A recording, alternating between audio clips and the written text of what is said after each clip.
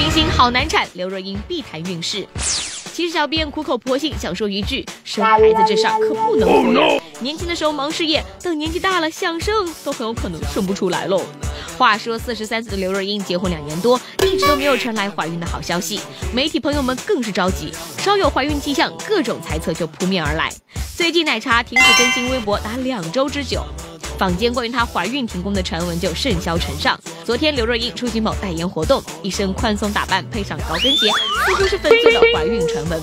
至于消失的那两周时间，奶茶解释称还是因为工作的关系。现在可以说了，就是在忙金马奖的评审。呃，我们要从呃七十几部电影里面选出呃入围名单。